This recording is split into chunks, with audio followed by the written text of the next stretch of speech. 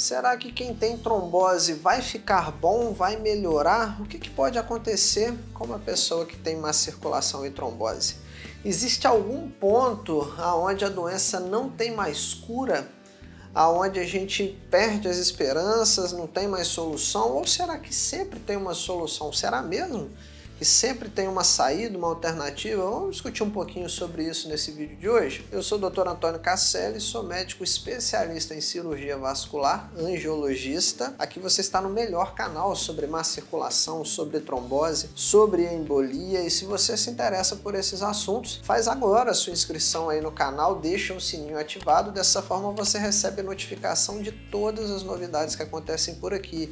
Ou seja, você não perde nada. Então, se inscreve, ativa o sininho, já aproveita, clica no gostei, deixa o seu like, o joinha, aquela curtida, por quê? Dessa forma o algoritmo entende que tem conteúdo relevante, importante, de qualidade aqui, entrega para mais pessoas e assim a gente consegue alcançar mais gente, até mesmo salvar vidas contra essa doença, contra a má circulação, contra a trombose. Então, a sua participação é importante, custa só um clique. Clica aí no gostei e hoje a nossa, o nosso assunto como de costume, se você já me acompanha aqui, vai ser uma pergunta que nós recebemos. É frequente, a nossa equipe seleciona as melhores dúvidas que vocês deixam nos comentários. A selecionada de hoje vou ler quando a trombose chega ao ponto que não tem mais cura. Então foi uma dúvida que nós recebemos e resolvemos falar um pouco sobre isso. Selecionamos para a gente explicar um pouco o que pode acontecer com quem tem má circulação e trombose. De antemão, eu quero te dizer que existem cinco possibilidades, cinco probabilidades de quem tem uma trombose cinco coisas que podem acontecer com ela, ou seja, você pode ficar bom ou não existem outras possibilidades. Mas vamos falar também o que fazer se de fato ficar bom 100% não foi o que aconteceu com você. Quais são as outras alternativas? O que, que a gente pode fazer para tentar resgatar, recuperar essa pessoa, melhorar um pouco do que ela está passando, daquela situação que a pessoa está vivendo. Então vamos lá, começando aquele caminho que todo mundo deseja. Quando a gente tem uma trombose, uma má circulação, o que pode acontecer? Vamos iniciar do começo o trombo. O trombo forma dentro de um vaso sanguíneo, nas nossas veias, na nossa circulação. Então o sangue tem uma matriz líquida que é o plasma e várias células misturadas ali. Células vermelhas que carregam oxigênio pelo seu corpo, células brancas que defendem o seu corpo contra vírus, bactérias, agentes invasores. No seu sangue tem proteínas, tem vitaminas, tem minerais, tem impurezas que o rim filtra e sai pela urina. Então o sangue tem várias coisas se algo atrapalha a circulação, tudo isso se agrupa, se aglomera, se ajunta em uma coisa que a gente chama de trombo. E é ele que prejudica a circulação e vai causar todas essas coisas que a gente fala, vai falar aqui nesse vídeo. Só que é o seguinte, você tem que considerar que existem veias nas pernas que são mais importantes do que outras. Na sua perna não tem uma, duas nem três veias, tem várias veias, algumas de maior importância e outras de menor importância. Então, todas elas podem formar trombos. Dependendo da veia que se forma, vão ser casos mais graves ou não. É por isso que existem várias possibilidades.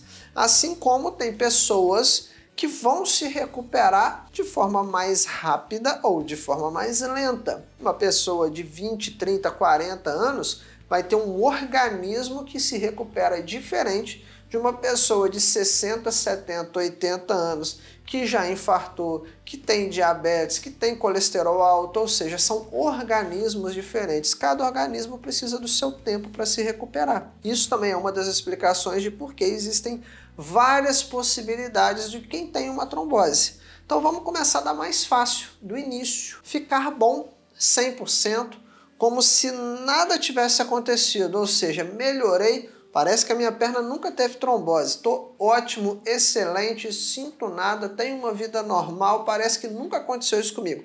Então essa é a primeira possibilidade de quem tem trombose. Essa é uma das chances de quem teve a trombose, é ficar bom, se recuperar 100%, vida normal, parece que a perna nunca teve nenhum trombo ali. Então essa é uma das possibilidades. Geralmente isso acontece com quem? Quem tem um organismo saudável, com quem tem trombose em veias de menor importância na perna, um trombo que não é tão grande, tão agressivo, ou seja, uma má circulação que foi prontamente revertida, uma veia de menor importância, um organismo saudável. Essas são as pessoas que têm mais chance disso acontecer, de ficarem 100% curadas. Só que eu te falei que existem cinco possibilidades, essa é a primeira. A segunda é o que? São aquelas pessoas que fazem o tratamento, tomam o remédio certinho. Então, entre tomar o remédio e fazer alguma intervenção vai depender da gravidade do caso. Então, tem pessoas que vão tomar o remédio, vão para casa fazer o tratamento com comprimido, que seja com injeções. Tem pessoas que têm trombose que vão ser operadas, vão passar por procedimentos cirúrgicos. Então, considerando que a pessoa fez o tratamento, vai depender, claro, da gravidade do caso. Casos graves, onde a pessoa tem risco de perder a perna, provavelmente ela vai ser atendida de forma mais enérgica. Mas, considerando aquela pessoa tomou o remédio, fez o tratamento certinho, faz o exame e não acusa mais trombo ali, mas a pessoa reclama. Não, Antônio, eu sinto a perna diferente, inchada, dolorida, pesada, parece que essa perna não é igual era antes, ela não está igual à outra. Eu ainda sinto bastante e faz exame, faz exame e não tem mais trombo ali. E por que isso acontece? Porque o trombo agride a veia. Só você pensar, por exemplo, em uma cicatriz na pele. Por melhor que seja a cicatrização da pessoa, ainda dá para ver uma marquinha ali. É a mesma coisa na veia. O trombo pode agredir aquela veia de forma que fique sequelas, cicatrizes naquela veia e que causam esses sintomas. Mesmo que você faça o exame, o exame não mostre mais trombo, o trombo sumiu, foi resolvido, essas alterações podem ficar nas veias e não são reversíveis. A veia que foi agredida, que ficou com essas sequelas, ela vai ficar com essas sequelas para o resto da vida. Não é mais uma veia nativa, natural. Imagina eu amassar uma latinha, eu posso até tentar desamassar, mas você vai ver que ficou marcas ali, mesma coisa nas veias. Essas marcas vão ficar para o resto da vida e a pessoa pode ter sintomas ou não. Pode ficar essas sequelas ali e a circulação fluir normal, como pode ficar essas sequelas ali e a pessoa ficar com sintomas, com perna inchada, dolorida, cansada. Isso sim tem tratamento. Com o tempo, nosso organismo ele começa a entender o que está acontecendo ali, começa a auxiliar aquela veia que está doente. Por exemplo, uma via. Pensa numa rua. Uma rua, ela tem a rua principal e várias ruas laterais. A veia é parecido também, tem uma veia principal e veias laterais. Se a principal, por exemplo, ela está com problemas de má circulação, o seu corpo começa com o tempo a entender isso e fazer o sangue passar nas veias laterais, ou seja, a pessoa que ficou com essas sequelas nas veias, ela pode ficar sem sintomas e ter as sequelas ali, porque não é, essas alterações não são tão importantes a ponto de prejudicar a circulação, ou ela pode, com o tempo, ficar com sequelas, mas por um período limitado. Não, não, eu fiquei uns seis, oito meses, um ano com esses sintomas, mas depois eu melhorei. Por quê? Porque o corpo achou essas avenidas laterais e está drenando sangue por ali. E ela também pode, não, eu já tenho 5, 10 anos de trombose, a minha perna ainda fica me incomodando. Aí, nesse caso, a agressão foi muito grave e essas vias laterais não dão conta. Nesse caso, existe tratamentos. Existem remédios para melhorar a circulação, existem meias ou outros dispositivos que podem ser usados, mas enfim.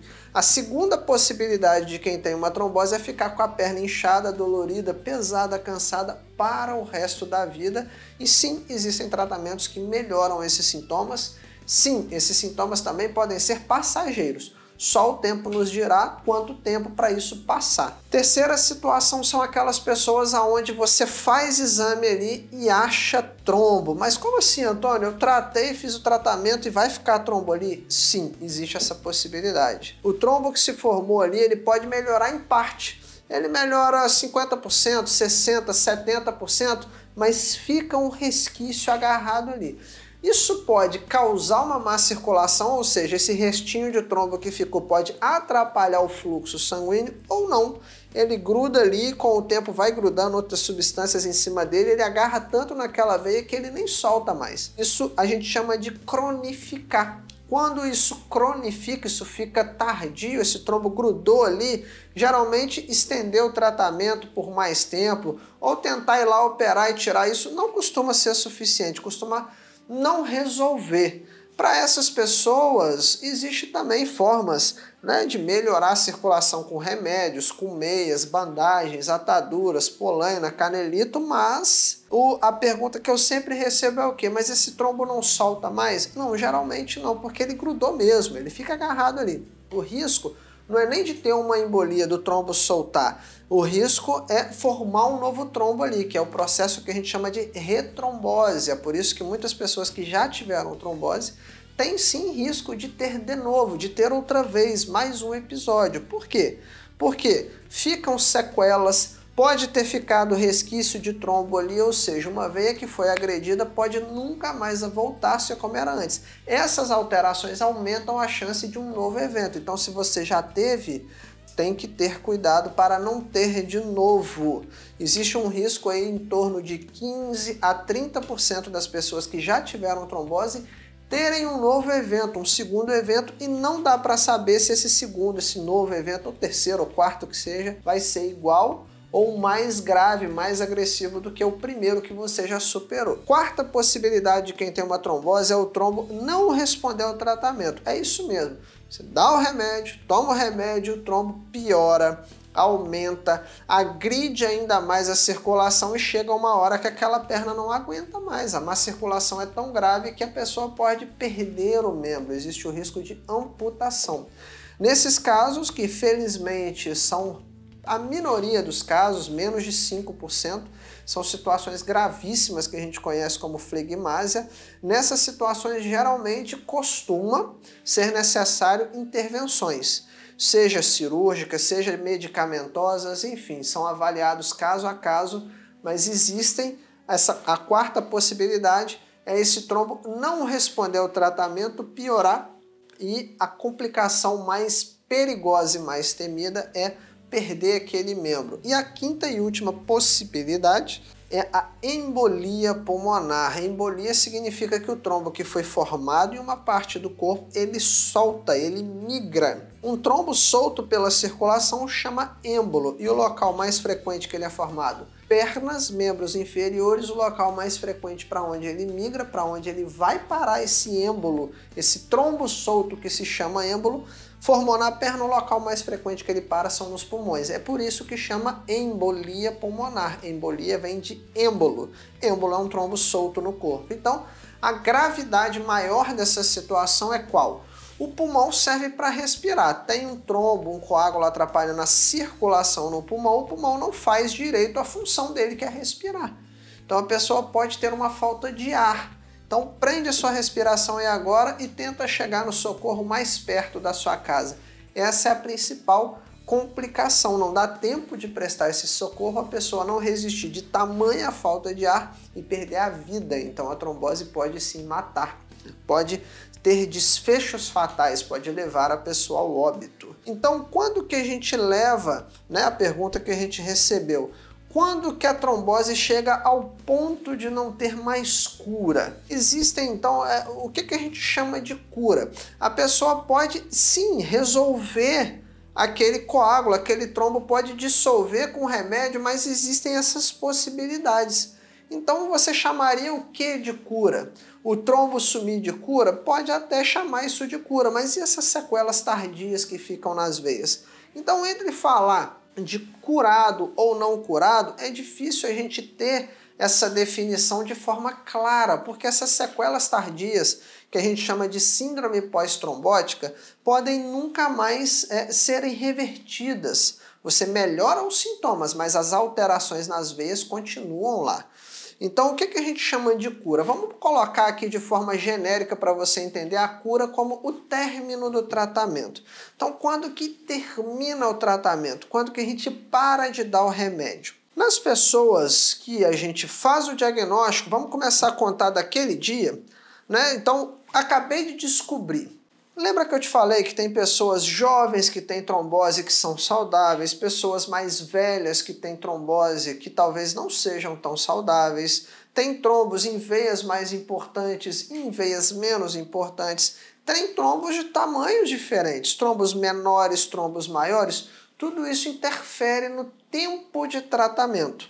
Então vamos colocar como cura né, a alta do tratamento, parou de tomar o remédio de trombose, o anticoagulante, então, quanto tempo vai ser esse tratamento até suspender a medicação, parar o remédio? Geralmente tem em torno de 3 a 6 meses, costuma ser o tempo mais frequente que nós encontramos. Mas existem pessoas que eu te falei, trombos grandes, pessoas com a saúde comprometida, veias importantes. Então, tem pessoas que podem levar até um ano de tratamento. Depois desses 12 meses, se o trombo não resolveu, dificilmente ele vai resolver. Ele pode ficar grudado ali, lembra? É a terceira possibilidade que nós falamos. Ainda existem médicos que insistem por mais seis meses até dois anos. Só que vai grudando outras impurezas ali naquele trombo e ele acaba ficando grudado. Não costuma resolver estender o tratamento e nem fazer nenhum tipo de intervenção cirúrgica, algum outro tipo de procedimento. Então, Normalmente, para parar de tomar o remédio, vamos entender como isso, como a cura, a suspender o anticoagulante, normalmente vai levar de 3, 6, 9 ou 12 meses, podendo ser estendido por um ano e meio a dois anos. Mas isso não significa cura. Por quê? Porque essas cinco possibilidades podem acontecer com quem tem uma trombose. Então fica aí a nossa revisão sobre essa doença, a trombose, a má circulação, tudo aquilo que pode acontecer e o que pode ser feito para a gente tentar melhorar aquela pessoa. E qual é o principal então? Aonde deve estar o seu foco? O seu foco não deve estar no ruim, no negativo, na doença, porque a doença, não adianta eu vir aqui ficar passando pano e te falar coisas boas, coisas lindas sobre a trombose, porque não é uma doença, é um problema de saúde. Então a notícia realmente não é das melhores. Eu falei a verdade como ela é.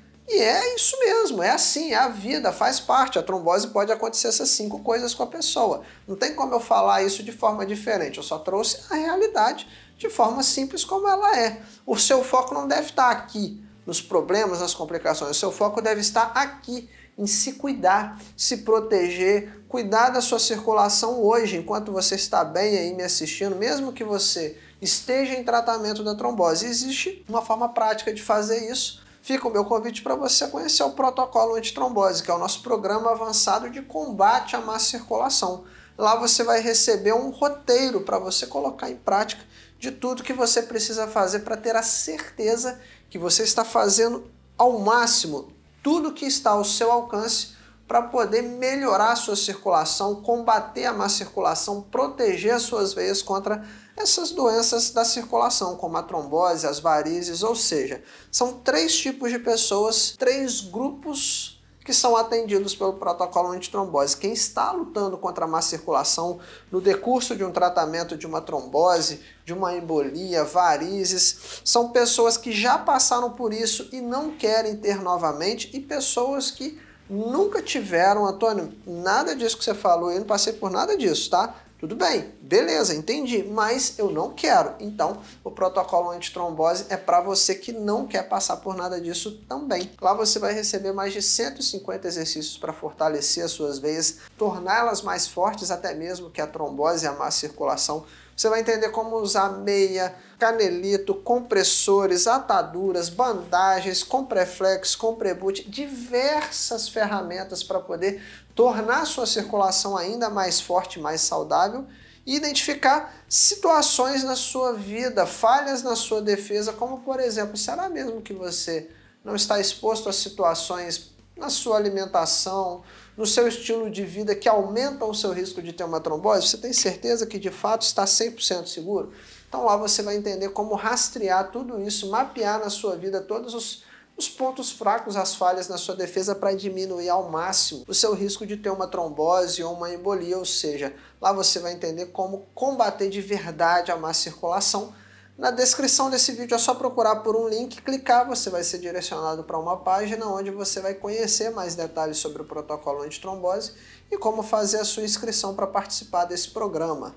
Deixa também a sua curtida, o like, clica no gostei, o joinha ajuda o algoritmo a entender que tem conteúdo relevante. Então, se você aprendeu alguma coisa boa, importante aqui, outras pessoas também precisam saber desse conteúdo. A sua participação, dando só um clique aí na tela, ajuda a gente chegar até mais pessoas e até mesmo salvar vidas contra a trombose. Eu te falei aqui nesse vídeo como isso pode acontecer, porque a trombose pode ter desfechos fatais. Então, a sua colaboração ajuda mais pessoas a se conscientizarem, a se cuidarem e a gente consegue até mesmo salvar pessoas contra esses problemas, má circulação, trombose e embolia.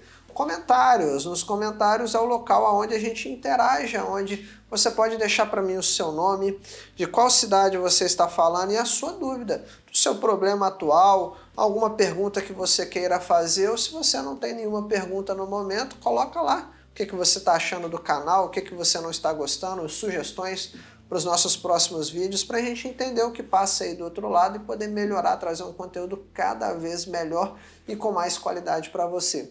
Te espero no próximo vídeo. Até logo!